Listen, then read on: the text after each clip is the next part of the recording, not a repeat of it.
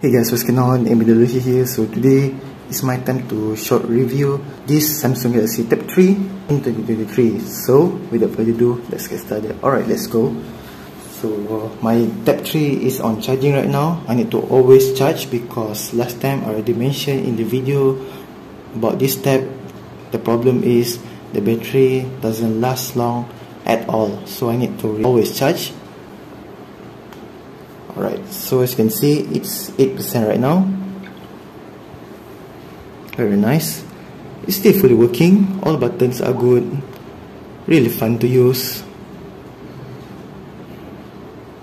Even the camera works, speaker works, mic works, everything works. It just the battery need to replace with new one. Maybe the previous owner never replace the battery or do overcharge on this phone means the battery has degraded a lot. Very fun to use? First thing first let's go to setting select to the down. About device as you can see it runs Android 4.4.2 KitKat latest version. Press and hold you can play a game. Very fun and very nice KitKat game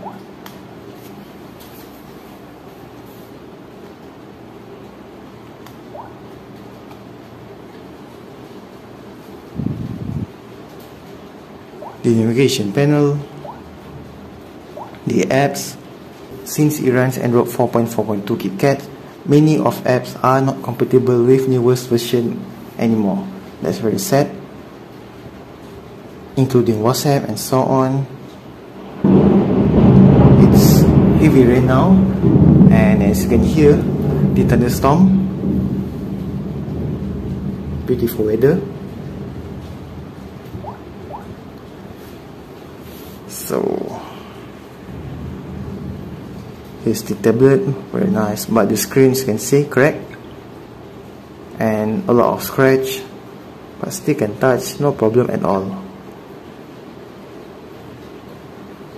the back side scratch a lot.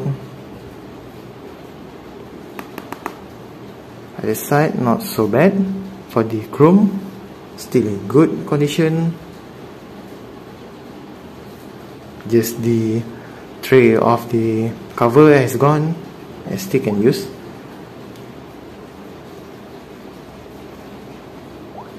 very very nice. So the problem is the battery. I just need to replace the battery. And that's it. So before I end this video you can give a feedback for this short review Samsung Galaxy Tab 3 LTE version in the comment below and so for me thank you very much. And don't forget to subscribe to my channel. See you on this video. Goodbye and have a nice day